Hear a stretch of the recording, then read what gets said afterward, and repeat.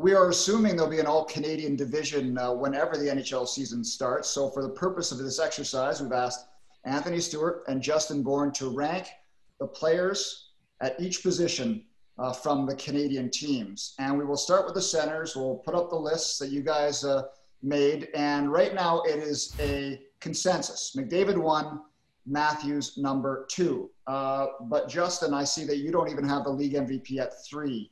Uh, so I'll start with you, Anthony. Uh, did you contemplate putting Draisaitl above Matthews? I did, but uh, I, I, think one of those it's one of those situations where Draisaitl is probably one of the most underrated players in the league. I counted him out when he scored 50 goals two seasons ago, saying, ah, you know, he did it by accident, and then he follows that up by an MVP season. So I think he's got to impress me one more time before he gets that respect. But uh, that's no slight on him. I think it's just based on the fact that McDavid missing the season, missing some time last year during the season, is going to come back and be a man on a tear. If there's a 60 game season, I can easily see him putting up 100 points. And uh, Matthews was toiling around 50 goals this year. Uh, he's going to be a goal scoring machine. So no slight on Draisaitl, but uh, he's behind those two going into next season. Justin, why Pettersson above the MVP? Uh, for me, it's just a all around versatility thing. You know, like there, there's no doubt that Leon Draisaitl can contribute on the offensive end, but his success kind of mirrors the Oilers' success a little bit to me. Is that we know they can score and we know they can run and gun, but like, can you defend?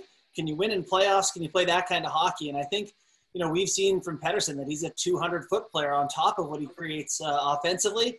And like having the guy as the fourth best player at the position in the world is not a slight. I'm not saying Draisaitl's not a player, I'm just saying Pettersson for me. You give me either guy to start a, a playoff game tomorrow. I'm taking Pettersson every time.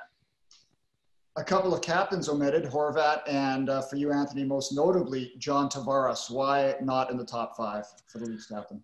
Well, we'll see when we uh, get uh, further down the list. I can't have all the Maple Leafs forwards uh, on the top of the list. Uh, for me, Tavares took a step back uh, uh, last year, but for me, Matthews is, is just next level. And just seeing his training in the offseason with McDavid, he's going to take another step in his development. And let's keep in mind that McDavid's a little bit on the younger side. Tavares, you know exactly what you're going to get with McDavid, with with sorry Matthews you know, 60 goals is his ceiling. That's that's extraordinary. Those are Ovechkin's numbers. So it's no slight on Tavares, but uh, Matthews, he's he's he's next level.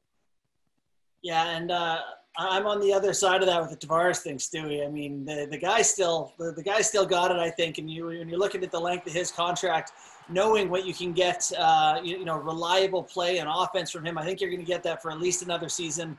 Uh, I'm not willing to say he's in the tail end of his career just yet, so I, I, had him just inside my top five. Speed, speed, and more speed. That's what it's trending. You know that, JT. Joe Thornton speed out there.